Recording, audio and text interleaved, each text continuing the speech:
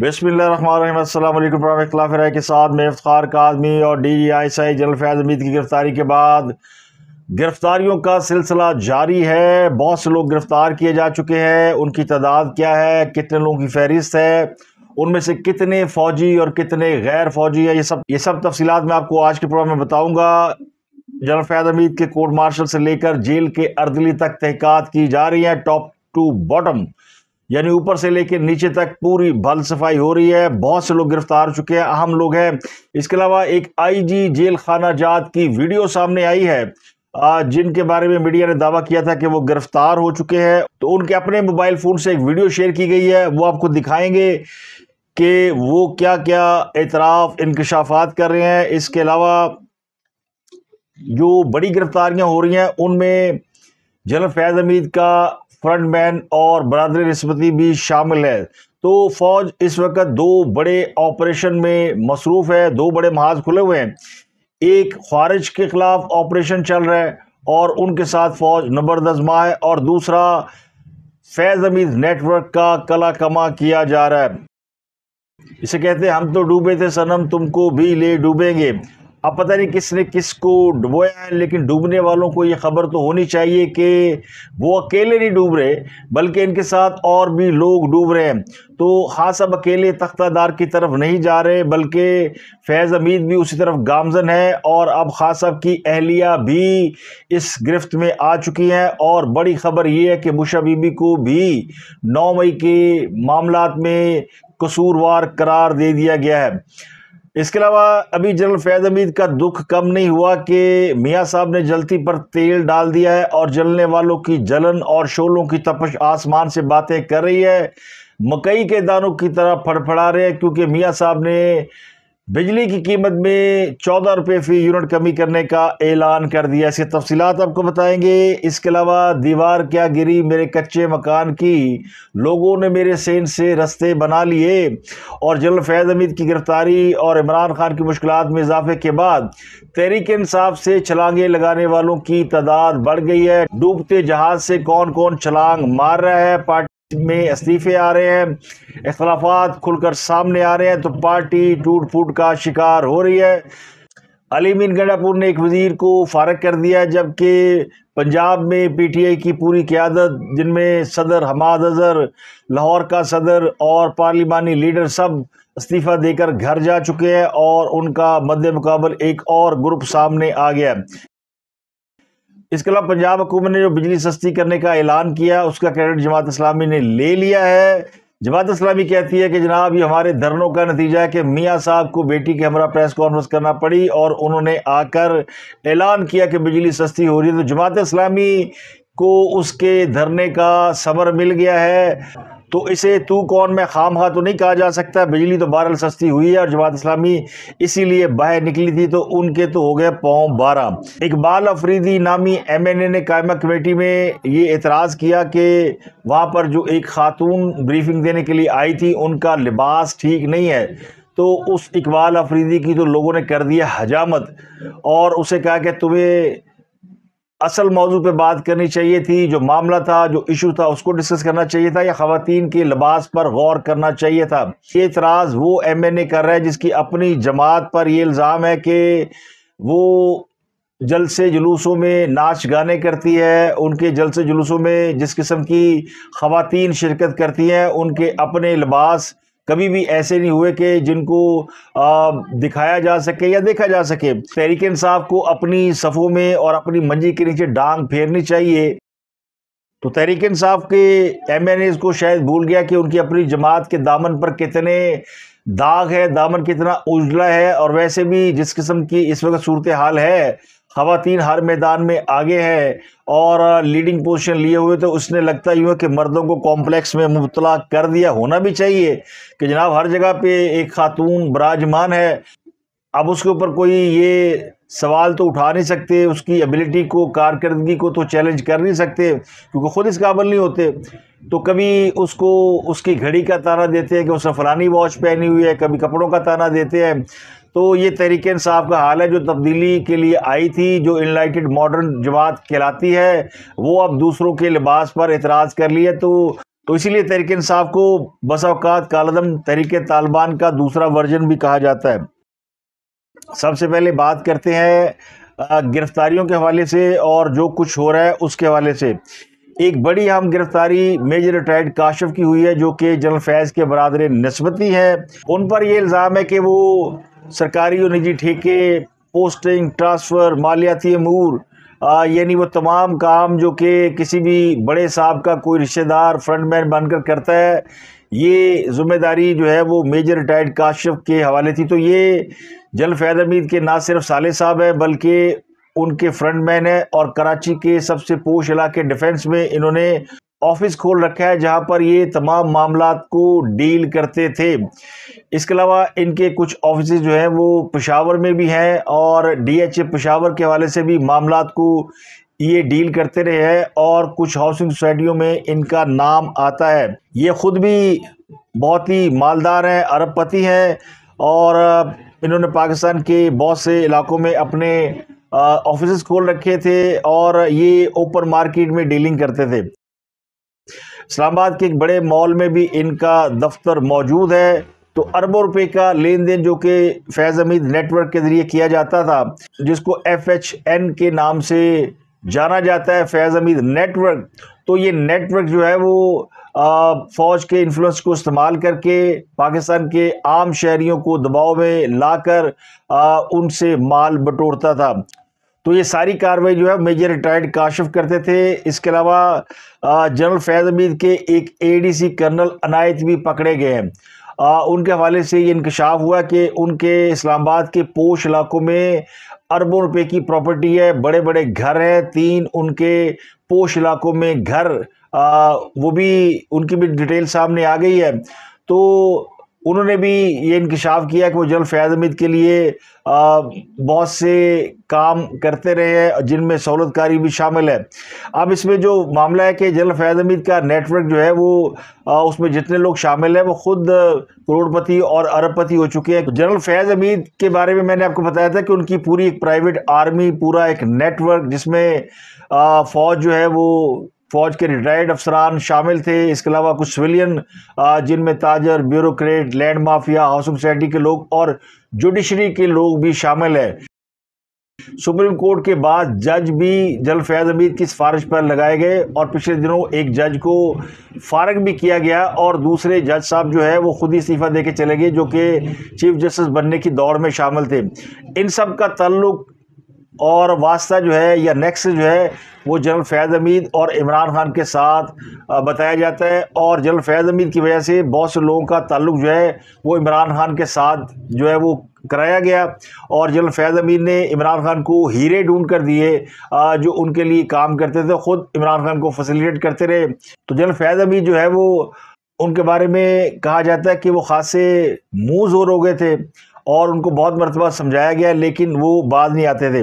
اس کے علاوہ ایک سابق آئی جی جیل خانہ جات شاہد سلیم بیگ کے حوالے سے یہ خبریں چلیں کہ ان کو حراست میں لے لیا گیا ہے۔ خبر یہ تھی کہ ان کو لاہور سے گرفتار کیا گیا ہے۔ شادمان میں ان کی رہائش گاہ ہے۔ اس کے بارے میں یہ بھی اطلاع دی گئی کہ وہ فیض امید نیٹ ورک کا حصہ ہے اور انہوں نے بڑے اہم انکشافات کیے ہیں۔ لیکن ان کی ایک ویڈیو سامنے آ گئی ہے جس میں وہ خود موجود ہیں۔ اور وہ چائے پی رہے ہیں، چسکیاں لے رہے ہیں اور سامنے ٹیلی ویژن پہ ایک خبر چل رہی ہے۔ اور یہ خبر کسی اور کی نہیں، خود مرزا شاہد سلیم بیگ کی خبر ہے، جو کہ ٹیلی ویژن پر چل رہی ہے۔ اور وہ چائے کی چسکیاں لیتے ہوئے کہہ رہے ہیں کہ اپنے ہی گھر میں چائے کا کپ پیتے ہوئے اپنی گرفتاری کی خبر سننا کیسا لگتا ہے؟ اداروں نے سابق آئی جی جیل خانہ جات شاہد سلیم بیگ کو حراست میں لے لیا۔ شاہد سلیم بیگ پی ٹی آئی دور میں پانچ سال آئی جی جیل خانہ جات رہے۔ بانی پی ٹی آئی کے جیل جانے سے پہلے ریٹائرڈ ہو چکے تھے۔ پٹیالہ جیل کے سابق ڈپٹی سپرنٹینڈنٹ ظفر سگی تحقیقات۔ D I G jail Rawalpindi کے آفس سپرنٹینڈنٹ ناظم علی شاہ سے بھی پوچھ گچھ۔ ڈپٹی سپرنٹینڈنٹ محمد اکرم کا بھی زیر ہرا اپنے ہی متعلق اپنے گھر میں بیٹھے ہوئے، چائے کا سپ لیتے ہوئے، غلط خبر سنتے ہوئے کیسا لگتا ہے؟ اس کو کہتے ہیں یلو جرنلزم یہ ہے پاکستان کا میڈیا اور یہ ہے یہاں کی خبروں کی سچائیاں غلط خبریں سنیں اور چائے کا کپ انجوائے کیجیے۔ تو انہوں نے ایک ہی سانس میں پاکستانی میڈیا اور پاکستانی جرنلزم کا جو ہے وہ پورا تیا پانچا کر دیا ہے۔ اب وہ گرفتار نہیں ہوئے، یہ الگ بات ہے، لیکن یہ بھی خبر ہے کہ لاہور سے کسی اہم شخصیت کی گرفتاری ہوئی ہے، جس کا تعلق جو ہے وہ پولیس سے ہے۔ تو وہ مرزا شاہد سلیم بیگ نہیں ہے، تو کوئی اور ہو سکتے ہیں۔ مرزا شاہد سلیم بیگ کے خلاف بھی تحقیقات چل رہی ہے۔ یہ عمران خان کے دور حکومت میں آئی جی جیل خانہ جات رہے ہیں اور ہاں، خان صاحب نے ان سے بڑے کام لیے ہیں۔ راحت وزیر خان صاحب جب دبئی میں گرفتار ہوئے تھے ان کو پولیس لے گئی تھی اور پھر اس کا معاملہ وہاں پہ طے ہو گیا، مخالف پارٹی کے ساتھ کوئی لین دین کا معاملہ تھا۔ تو جب معاملہ طے ہو گئے اور وہ واپس آئے تو انہوں نے واپس آنے کے بعد یہ دعویٰ کیا کہ وہ تو دبئی میں شو کرنے آئے ہوئے ہیں اور آزاد فضاؤں میں گھوم رہے ہیں، ان کو تو کسی نے نہیں پکڑا۔ اور چونکہ وہ اپنے فلیٹ کی بالکنی میں بیٹھے ہوئے تھے تو پھر ماننا پڑا کہ کوئی کسی نے انہیں گرفتار نہیں کیا۔ اب مرزا شاہ سلیم ہو سکتا ہے گرفتار ہوئے ہوں یا ان کو تحویل میں لیا گیا ہو، ان سے کچھ سوال پوچھے گئے ہوں، بات چیت کی گئی ہو، چونکہ ان کی گرفتاری نہ ڈالی گئی، نہ ظاہر کی گئی اور اس کے بعد یہ گھر واپس آ گئے ہوں۔ چائے کی اور کافی کی چسکی بندہ اس وقت لیتا ہے جب کسی بڑی یعنی مصیبت میں ہو، سر درد ہو اور راحت کی تلاش میں ہو، تو بھائی گھر واپس آ کر چائے پی کر اگر وہ خبر چل رہی ہے تو اس کی تردید کرنے کے لیے ایک اسکرپٹ بڑا اچھا لکھا انہوں نے۔ باقی جو انہوں نے میڈیا کے بارے میں کہا، تو میڈیا کی خبر غلط نہیں ہے۔ وہ پٹینڈ کر رہے ہیں کہ وہ گرفتار نہیں ہوئے۔ اس کے علاوہ میرے ذرائع تو یہ بھی کہتے ہیں کہ نجف حمید بھی گرفتار ہے اور جنرل فیض امید کا جو پورا ٹبر ہے، ان میں جو میل ہیں فیملی کے، وہ زیادہ تر انڈر انویسٹیگیشن ہے یا گرفتار ہے۔ کیونکہ یہ انویسٹیگیشن بڑے پیمانے پر ہوئی۔ اور یہ جو انویسٹیگیشن ہوئی، بڑے پیمانے پر یہ ڈی جی ایم آئی کی سربراہی میں ہوئی تھی۔ اور اس میں پھر ظاہر فیملی کے لوگ بھی آئے، ان کے ملازمین کو بھی پکڑا گیا ہے۔ تین ملازم تو ان کے ابتدائی طور پر حراست میں لے لی گئے تھے جب ان کے گھر پہ چھاپا پڑا تھا۔ تو اس انکوائری میں، یہ جو انکوائری ہو رہی تھی، ایم آئی کر رہی تھی، لیکن آئی ایس آئی پوری طرح سپورٹ کر رہی تھی اور آئی ایس آئی کے لوگ جو ہیں وہ جو ان کے نیٹ ورک کے لوگ ہیں، وہ بھی ان کو بھی پتہ چل گیا تھا کہ کون کون جو ہے وہ لپیٹ میں آ رہا ہے۔ تو کچھ خبریں دائیں بائیں لیفٹ رائٹ جو ہے وہ نکلی بھی۔ جس کی وجہ سے آپ کو جل باجوہ بھی پاکستان میں نظر نہیں آتے اور آپ کو ثاقب نثار بھی پاکستان میں نظر نہیں آتے۔ اب جل باجوہ کے بارے میں تو اطلاعات یہ ہے کہ وہ فیملی ٹور پر گئے ہوئے تو بندہ اینجی بہانہ بنا کے نکلتا نا۔ اکیلے بھاگے گا تو لوگ کہیں بھاگ گیا۔ ثاقب نثار بھی فیملی ٹور پہ گئے ہوئے ہیں، یہ بھی فیملی ٹور پہ گئے ہوئے ہیں۔ دونوں یہ دعویٰ کریں ہم پاکستان واپس آئیں گے۔ ظاہر ہے، میں نے آپ کو کہا تھا کہ یہ واپس اس وقت آئے گے جب انہیں کوئی گارنٹی کوئی شیورٹی دی جائے گی۔ تو جنرل باجوہ کے حوالے سے اس وقت حکومت کے بہت سے وزراء زور لگا رہے ہیں کہ انہوں بھی پڑھو۔ کیونکہ جنرل باجوہ تو مین ملزم ہے، اس میں کوئی شک نہیں۔ دو ہزار اٹھارہ میں جو کچھ ہوا، عمران خان کو لایا گیا ان کو حکومت دی گئی۔ تو جنرل فیض امید تو اس وقت اس پوزیشن میں نہیں تھے کہ عمران خان کو لے کر آتے۔ یہ کیا درا تو جنرل باجوہ کا ہے۔ اور نواز شریف صاحب بھی جب انہوں نے تقریر کی تھی مشہور زمانہ، انہوں نے جنرل باجوہ کا نام لیا تھا کہ جنرل باجوہ کو جواب دینا پڑے گا، وہ ذمہ دار ہے۔ لیکن جب وہ معاملات سیٹل ہو گئے اور نون لیگ کی واپسی ہوئی، نواز شریف پاکستان واپس آئے۔ تو پھر کہیں نہ کہیں انڈرسٹینڈنگ تھی کہ وہ فوج کے جو سربراہ ہیں یا جن کے حوالے سے وہ مطالبہ کر رہے کہ ان کا کورٹ مارشل کیا جائے، اس پر وہ بات نہیں کرے گے۔ تو یہ بات مان لی گئی۔ اس بات کو تسلیم کر لیا گیا کہ اس کو ایشو نہیں بنایا جائے گا۔ یقین دلایا گیا فوج کی طرف سے کہ کاروائی تو ہوگی، لیکن آپ نے اس پہ رولا نہیں پانا۔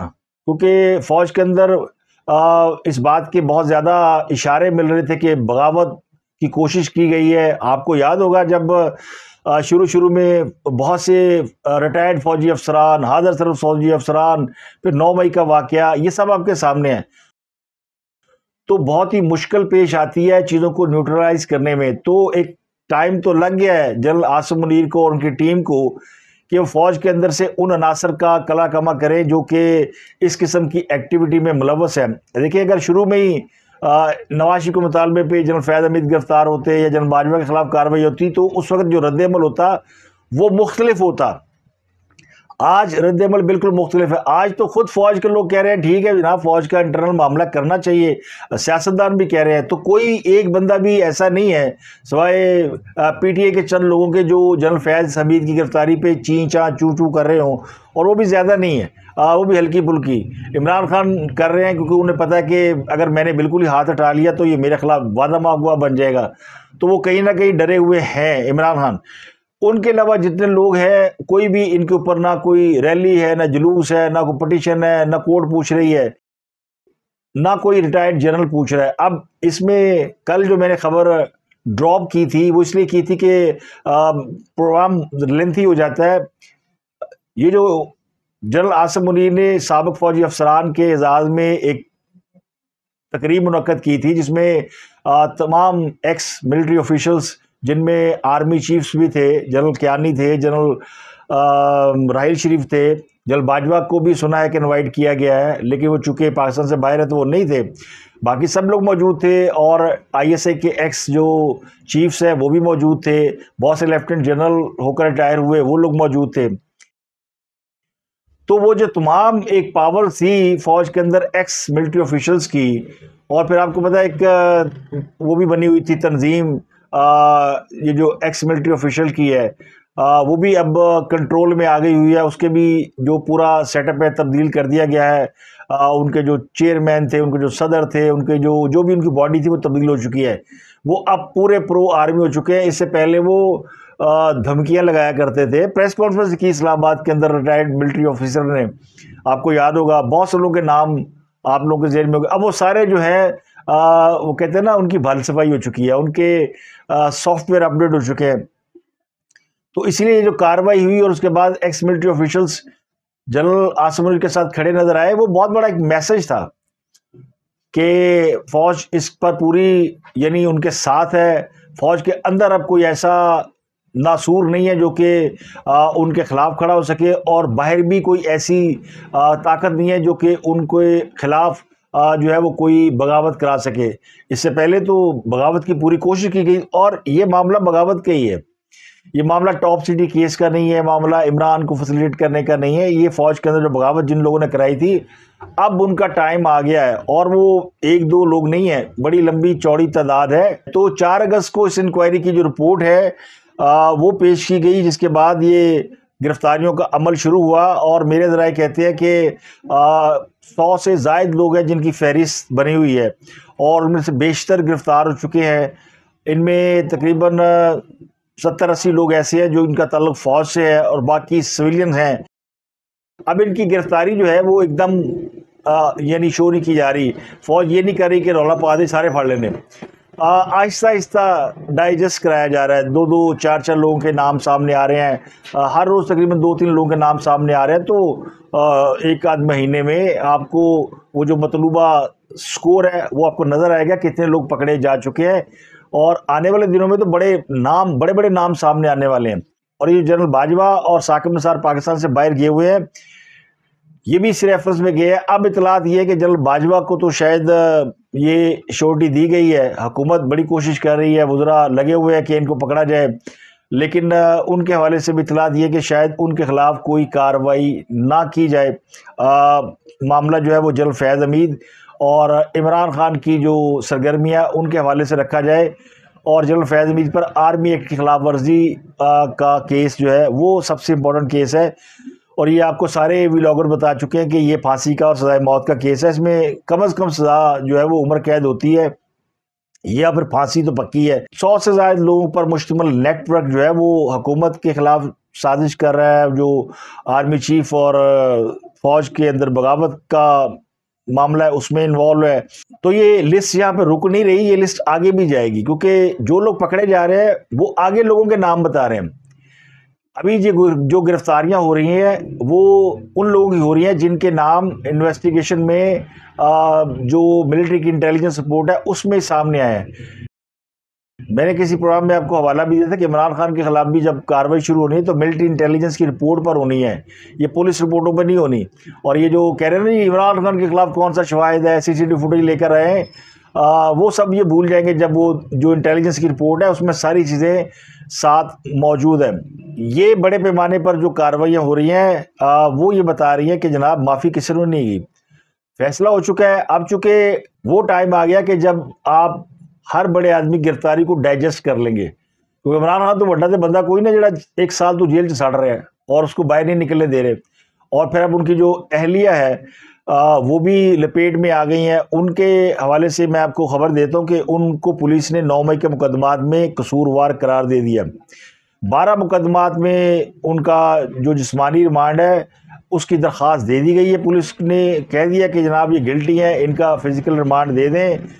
تو اس پر جو ہے وہ سترہ اگست کی سماعت رکھی گئی ہے۔ اس میں بشا بی بی کو طلب کیا گیا ہے۔ وہ حالانکہ تحویل میں ہے۔ تو عدالت نے نیب کی انویسٹیگیشن ٹیم کو بشا بی بی کو ہفتہ صبح آٹھ بجے عدالت میں پیش کرنے کا حکم دیا ہے۔ جسمانی ریمانڈ کے حوالے سے فیصلہ جو ہے وہ ہفتے کے روز ہی کر دیا جائے گا۔ پولیس یہ کہتی ہے کہ یہ بارہ تھانوں کی پولیس ہے، جس نے نو مئی کے مقدمات درج کیے ہوئے ہیں۔ وہ یہ کہتے ہیں کہ یہ پوری طرح اس میں قصوروار ہیں اور ان کے جو رابطے ہیں، ان میں صداقت عباسی واسق قیوم اور عمر تنویر بٹ۔ ان کے بیانات کی روشنی میں بشا بی بی کو نومینیٹ کیا گیا۔ اب یہ تینوں وہ لوگ ہیں جو کہ گرفتار ہوئے، اس کے بعد ان کی ویڈیوز آئیں اور انہوں نے اپنے آپ کو اس میں سے یعنی توبہ طائب کر لی کہ نو مئی کے واقعات میں ہماری غلطی تھی اور ہمیں بہکایا گیا تھا اور جی ایچ کیو کے سامنے جو ریلی نکالی گئی تھی، یہ اس میں تینوں کا نام شامل ہے اور انہوں نے بشا بی بی کے حوالے سے جو بیانات دیے پولیس کو اور خود پولیس نے جو ابتدائی طور پر بشا بی بی سے انکوائری کی ہے اس میں انہوں نے بشا بی بی کو گلٹی پایا، وہ جواب صحیح دے نہیں سکیں۔ G H Q gate number چار، آرمی میوزم یہ وہ دو جگہ ہیں جن پر ان کو نامزد کیا گیا۔ ہے اس کے علاوہ مری روڈ میں جو حساس ادارے کے دفتر پر حملہ، میٹرو اسٹیشن جلانے، صدر میں حساس عمارت جلانے۔ اس کے علاوہ ٹیکسلا حضرو اٹک میں بھی گراؤ جلاؤ، توڑ پھوڑ کے تو نو مئی کے بارہ مقدمات ان کے اوپر ہیں جس میں ان کو قصوروار قرار دے دیا ہے اور اب ان کا جسمانی ریمانڈ جو ہے اس کے لیے پولیس جا رہی ہے۔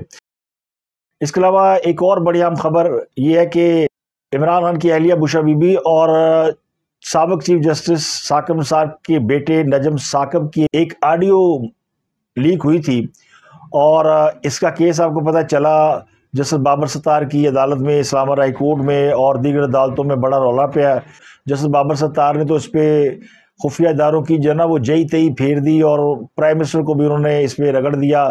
یہ معاملہ اب سپریم کورٹ میں پہنچ گیا ہے۔ تو چیف جسٹس نے اس کے حوالے سے ایک بینچ بنا دیا۔ دو رکنی بینچ ہے جسٹس امین الدین خان کی سربراہی میں، جو کہ انیس اگست کو اس کیس کی سماعت کر رہا ہے۔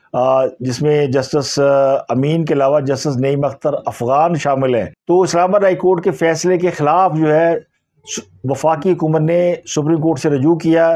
اس پر یہ بینچ بنا دی گیا پچیس جون کو اس کا فیصلہ سنایا گیا تھا اسلام آباد ہائی کورٹ میں۔ اب آگے بڑھتے ایک اور بڑی اہم خبر ہے۔ کل تک کچھ لوگ یہ دعویٰ کر رہے تھے کہ میاں صاحب کی بس ہو گئی۔ میاں صاحب تنہائی کا شکار ہے وہ کسی سے ملتے نہیں ہیں، کمرہ بند کر لیتے ہیں۔ اس بات کو بڑا اچھالا گیا کہ نواز شریف فارغ ہو گئے۔ ان کی یادداشت تباہ ہو گئی ہے اور ذہن کام نہیں کرتا۔ جو بڑھاپے میں لوگوں بیماریاں ہوتی ہیں نا، پارکنسن وغیرہ، اس قسم کی بیماریاں میاں صاحب میں لگا کر کئی وی لاگر نے وی لاگ کیے اور میں نے بھی آپ کو بتایا تھا یہ کیوں کیے جا رہے ہیں۔ تو میاں صاحب نے ایک پریس کانفرنس دے ماری ہے۔ اب دے ماری میں اس لیے کہہ رہا ہوں کہ ویسے تو پریس کانفرنس کی جاتی ہے، لیکن جو چیز ماری جائے، اس کا مطلب ہے کسی کو چوٹ ضرور لگے گی۔ تو یہ پریس کانفرنس اسی طرح بہت سے لوگوں کو لگی ہے، کیونکہ یہ پریس کانفرنس دے ماری گئی ہے۔ ان لوگوں کو جو یہ سمجھ رہے تھے کہ میاں صاحب دی بس ہو گئی ہے، تو اب انہیں پتہ چلا کہ میاں صاحب دی بس نہیں ہوئی، بس ان کی اپنی ہو گئی ہے۔ اور ان کا تو اپنا مین لیڈر ابھی رہا نہیں ہوا کہ وہ جو ان کا دوسرا سہولت کار تھا، اس کو اٹھا کر انہوں نے کورٹ مارشل کر دیا۔ تو اب ان کے تو پورے ہی کہتے ہیں نا، لٹیا ڈوب گئی ہے۔ میاں صاحب نے پریس کانفرنس کر کے بتایا کہ ماشاءاللہ وہ صحت مند ہیں، اچھے بھلے ہیں، چنگے بھلے ہیں، عوام بھی انہیں یاد ہیں، عوام کے مسائل بھی یاد ہیں۔ تو چند روز پہلے میں نے آپ کو ذکر کیا تھا، نواز شریف کو چیک میٹ یعنی چیلنج ان کو کیا گیا اور اسی لیے کیا گیا پروک کیا گیا کہ ان کا سٹیٹس چیک کیا جائے کہ وہ کیسے ہیں۔ وہ ہیں بھی یا گئے؟ کیونکہ کہا جا رہا تھا نا کہ انہوں نے سنیاس لے لیا۔ تو ان کے ان کی بیماری کی خبر ان کے مخالفین نے پھیلائی۔ تو میاں صاحب نے پریس کانفرنس کر کے ان کے ارمانوں پر اوس ڈال دیے حالانکہ اوس سے ٹھنڈ پڑنی چاہیے، لیکن الٹا کام یہ ہوا کہ شولوں کی طرح بھڑک رہے ہیں۔ چلے آگے بڑھتے ہیں۔ میاں صاحب نے مریم نواز صاحبہ کے ساتھ پریس کانفرنس کی اور انہوں نے کہا کہ عوام مشکل دور سے گزر رہے ہیں۔ تو بجلی جو ہے وہ ہم فی یونٹ چودہ روپے سستی کر رہے ہیں۔ چلیں، کم از کم میاں صاحب کو اس بات کا احساس تو ہے کہ عوام مشکل میں ہے، ان پر بوجھ پڑ گیا ہے۔ وہ کچھ کر سکتے ہیں یا نہیں کر سکتے، وہ پرائم منسٹر ہے یا نہیں ہے لیکن وہ ہاتھ پاؤں مار رہے ہیں۔ اس میں کوئی شک نہیں کہ وہ جب سے آئے ہیں، وہ قیمتوں کے حوالے سے بڑے پریشان ہیں، مہنگائی کے حوالے سے بھی وہ کچھ نہ کچھ کرتے رہتے ہیں۔ آٹا انہوں نے سستا کرا دیا، روٹی سستی کرا دی۔ لوگوں نے اس بات میں بڑے اعتراض کیے کہ وہ تندوروں پہ جا کے روٹی قیمت چیک کرتے ہیں۔ آپ کو اندازہ نہیں کتنے لوگوں کو اس سے فائدہ پہنچا ہے۔ اور وہ عوامی مسائل کو بہت ہی اچھی طرح سمجھتے ہیں۔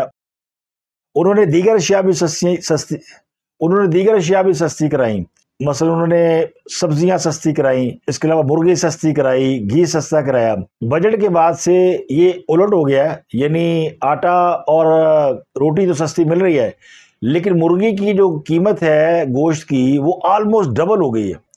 اور پھر اس کے علاوہ یہ جو سبزیاں ہیں یہ بھی ڈبل سے میرا خیال ہے ٹرپل ہو گئی ہیں۔